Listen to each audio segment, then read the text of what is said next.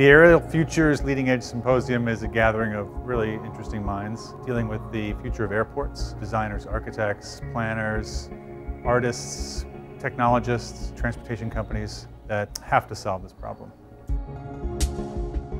I came to Los Angeles for the Aerials Future Symposium. The topic was very intriguing to me. This idea of airports as public spaces, um, thinking of them as transportation facilities that also had a role to play in the civic and social life of the communities and the cities in which they were located.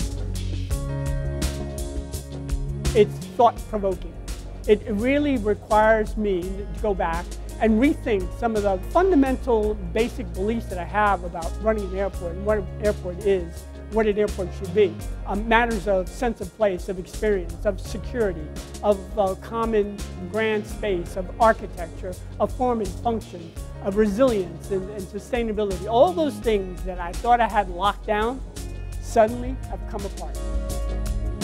Within my studio, I tend to be very myopic about very specific technological effects or relationships in design, and it was nice to see um, those technologies in a broader context and, and really understand the consequences of them for the architectural environment.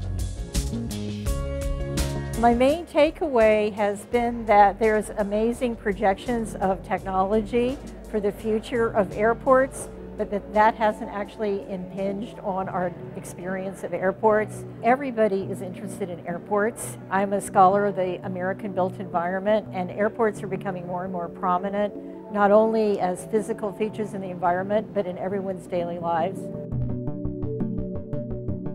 The information presented at this symposium has really energized me and excited me about the potential and then how do we all kind of work together to be change agents to transform uh, what is not the, you know, universally hated experience of travel into something that's special and personalized for the different types of people who fly.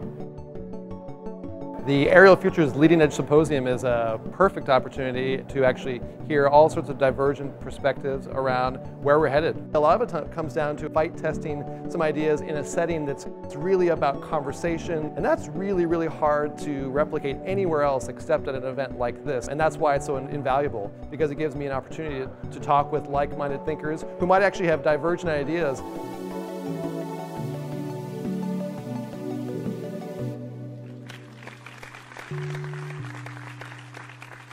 Thank you.